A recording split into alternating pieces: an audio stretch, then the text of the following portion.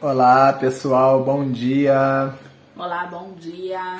Então, nós resolvemos voltar aqui agora com esse breve vídeo. Deixa eu só te interromper. É, ó, hoje não, a gente não tá muito bonito, né? Pois é, eu tô até com bigode. Porque ainda é cedo aqui, né? Ainda não é nem 9 horas. Isso. E como é que Deus, quando Deus vai falar que alguém é feio, como é que ele fala? Não, ele ama todo mundo de qualquer forma, não, né? então assim como Deus fala, eu estou com o semblante caído. é, eu nem fiz barba ainda porque a gente saiu de manhã cedo, correndo, como sempre atrasado. eu atrasado. para poder levar a Adriana no médico, né? A Adriana tem uma, tinha uma consulta hoje com a endocrinologista e do mesmo jeito que nós passamos aqui aquele dia para mostrar o atendimento na UPA, é, emergencial, né? emergencial na UPA, né? Pra, que nós fomos ajudar o amigo, né, que veio de Goiânia. E o atendimento lá foi até bom atendimento, né, mas não tinha medicamento, né, para poder ministrar nele. Então a gente colocou esse vídeo e a gente está vindo aqui agora para falar sobre o atendimento hoje da Adriana. Né? Atendimento normal, né? Com consulta marcada, né? Atendimento consulta marcada com endocrinologista. Lugar, Policlínica de Mangabeira, né, amor? Policlínica do Mangabeira. Sensacional. Não é o mesmo lugar que a gente foi aquele dia, porque naquele dia a gente Não. foi na UPA do Mangabeira. Isso, né? Hoje a gente foi na Policlínica. Hoje nós estamos na Policlínica do Mangabeira, onde as consultas acontecem, as consultas pré-agendadas. Isso, primeiro, na verdade, primeiro a gente foi no posto, no postinho de saúde aqui do Paratibe, né? Isso. E de lá eles encaminharam para a Policlínica, né? Isso. O encaminhamento, assim, demorou só um mês. Demorou né? um mês, é, demorou, demorou um mês. mês. E geralmente, assim, demora muito para você conseguir um endocrinologista, né? Exato. demorou só um mês. É, lá na, na, cidade que nós morávamos mesmo, para você ter uma tinha. ideia, nem tinha endocrinologista na rede, na, re, na rede pública. Né? Então, é, a gente está passando aqui para poder relatar que é, atendimento sensacional, lugar limpíssimo, pessoas educadíssimas. Todos os funcionários que entravam davam bom, bom dia. dia sabe? E assim, a gente ficou encantado com o cuidado do lugar, com a beleza do lugar, a higiene do local também, tá? Desde o do guarda que nos atendeu, que abre, um cara extremamente educado. Estacionamento. Estacionamento na frente. A recepcionista também, que deu o primeiro atendimento.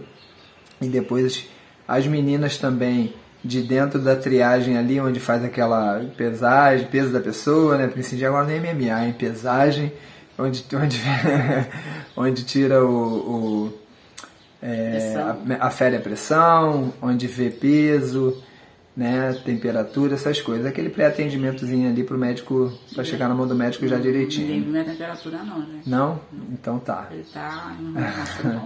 Então, a gente não podia deixar de passar aqui para falar, regi... o né? falar o ponto positivo. tem que falar o negativo e o positivo. Exatamente. A gente não pode só falar pontos negativos, até mesmo porque é, a gente não está aqui para encher linguiça. Né? A gente está aqui para falar a realidade, assim, foge até um pouco o foco dos nossos vídeos, que os nossos vídeos são de bairros, mas como nós fizemos o vídeo é, relatando o problema da UPA, então nós nos sentimos no dever de estar aqui parabenizando o atendimento de consultas marcadas na Policlínica do Mangabeira. E até fazendo um comparativo, né? É, para quem não sabe, tem um vídeo aí onde eu falo um problema de saúde que eu tive, né? Que foi o, o tumor no, no, no, cérebro. no cérebro. E assim, eu estou curada, mas precisa de acompanhamento a cada seis meses, uma vez por ano eu tenho que estar tá indo. Por isso que a gente vai, né? Então isso começou em Cuiabá. Isso. Em Cuiabá eu tive facilidade com o médico. Isso. Mas tive dificuldade para fazer a ressonância, porque a ressonância lá em Cuiabá, pelo governo, tinha que demorar, demorava quase três anos que as pessoas falavam, né? Isso. Então a gente pagava para fazer, com desconto a gente pagava 300 reais, né? Uma vez eu consegui um desconto, pagou 300 reais. Em Cachoeiro, a gente não conseguiu um médico dessa especialidade, endócrino. Então lá eu consultava, qual, qual médico mesmo que eu consultava? Neurologista. Neurologista. Só que lá em Cachoeiro já tinha uma coisa ao contrário. A ressonância era rapidão. Muito rápida. Marcava nós... hoje, não demorava sete dias. É, teve um dia que nós marcamos na quinta, a ressonância foi no domingo. Foi no domingo, porque quando coloca assim tumor, eles levam eles uma dão urgência. Só que daí não tinha médico depois disso. É. Né? Já que a gente teve essa facilidade com o médico, tá? E, mas só que o médico, um senhor já, muita experiência, assim, sabe? Eu tava até brincando com o Vlad que, vamos supor. Gente, eu vou segurar meu braço aqui porque tá doendo. É, às vezes, de repente, a pessoa, não, como a gente já entende o jeito do pessoal daqui, sabe? A gente já sabe o jeitinho que eles são. Então, assim, dependendo a pessoa que falava, falar, nossa, o médico é meio grosso, não tem nada de grosso, objetivo. Pá, É, pá, pá. É verdade. Eu falei bem assim pra ele, porque meu, meu último exame de sangue deu algumas coisas da. Como que é que eu te falei? Colesterol. Então tinha que fechar a boca, né? Aí eu fui falei bem assim pra ele, eu falei, doutor, você não vai passar o Exame de sangue. o exame de sangue? Ele, a senhora fechou a boca? Aí eu, ele, a senhora tá comendo direitinho? Eu, ele, então não vou passar. vai dar o mesmo resultado, né? Aí depois ele caiu na risada. Mas assim, super top esse o médico, né? Sabe bem do que tá falando. E ele falou pra mim, ele falou, olha, eh, eu vou marcar seu retorno pra novembro, porque eu não sei se a senhora vai conseguir essa ressonância, né, pelo SUS. Isso. Eu acho que vai demorar. Mas a gente ainda não sabe, a gente vai tentar e depois a gente volta aqui pra falar como é que foi essa parte do exame, tá bom? Exatamente. Mas, como o Vlad disse, atendimento top, tudo muito Top. limpinho, parecia até hospital particular. Exatamente. Tudo bem pintadinho. Muito pintadinho, né? E um jardinzinho muito legal na recepção. É porque tinha muita gente na recepção, é que muita gente não, devia ter umas 20 pessoas.